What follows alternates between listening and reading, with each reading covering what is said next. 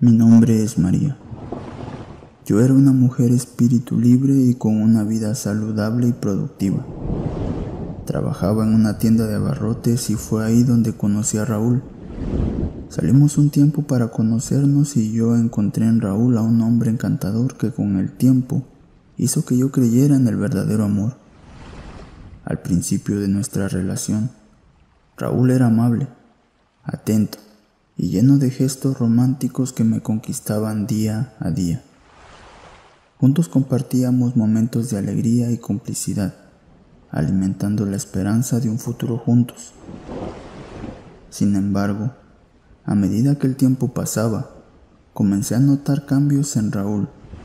Sus actitudes se volvieron posesivas y controladoras, limitando mis actitudes, controlando a mis amistades e incluso cuestionando mi forma de vestir.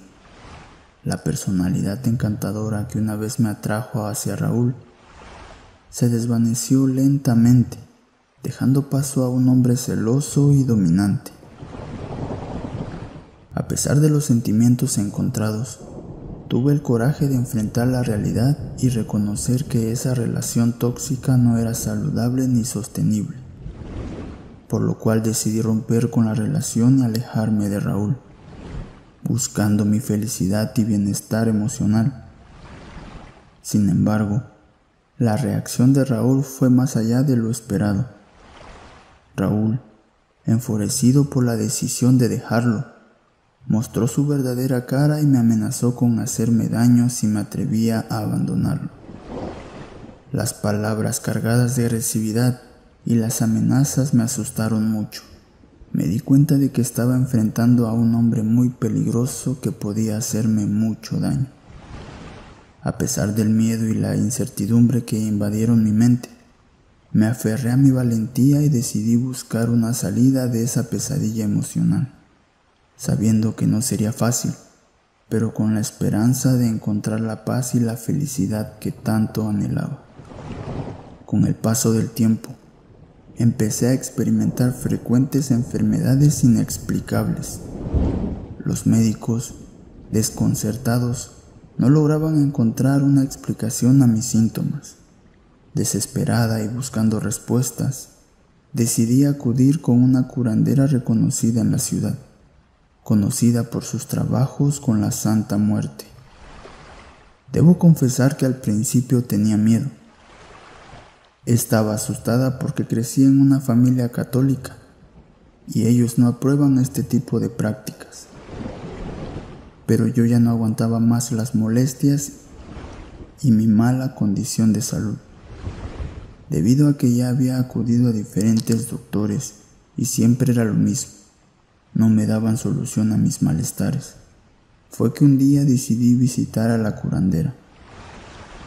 Desde la primera visita, la curandera me reveló que la razón por la cual los médicos no podían identificar mi enfermedad era debido a que había sido objeto de brujería.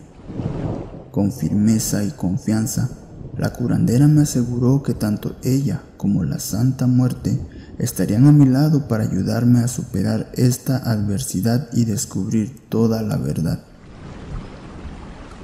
La curandera me realizó un ritual de limpieza y protección en mi hogar. Con inciensos y veladoras encendidas, invocó la presencia de la Santa Muerte, solicitando su intervención para deshacer el mal que me aquejaba. Sentí tanta paz en ese momento que me entregué a la ceremonia con fe y esperanza, confiando en que finalmente encontraré alivio y respuesta a mis sufrimientos. A medida que los días transcurrían, comencé a notar pequeños cambios en mi estado de salud. Me sentía cada vez mejor, con la misma energía que me caracterizaba. Los síntomas se desvanecían gradualmente y retomaba mi vitalidad. Las visitas regulares a doña Elena se convirtieron en un pilar fundamental de mi recuperación. La curandera me enseñó sobre la importancia de la protección espiritual y la conexión con la Santa Muerte, a quien debía rendirle culto y gratitud por su sanación.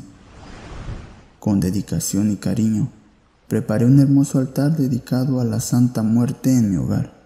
Coloqué velas, flores frescas, inciensos y pequeñas estatuillas en honor a la Santa Muerte. Cada día dedico un tiempo para orar y reflexionar en frente al altar. Cuando mi familia descubrió el altar, inicialmente expresaron su desaprobación y preocupación, pero con mucha calma y respeto les conté de mi experiencia personal y de cómo la Santa Muerte me había devuelto la salud por la mala experiencia que pasé con Raúl. Poco a poco logré que mi familia escuchara mis argumentos y entendiera la importancia de mi fe en la Santa Muerte para mi bienestar emocional y espiritual. Aunque algunos miembros de mi familia aún mantienen ciertas reservas, llegaron a aceptar mi elección y respetaron mi altar y prácticas religiosas. Espero y haya sido de tu agrado esta historia. Si fue así, te agradecería que te suscribieras al canal si aún no estás suscrito. Cuéntame en los comentarios, ¿eres devoto de la Santa Muerte?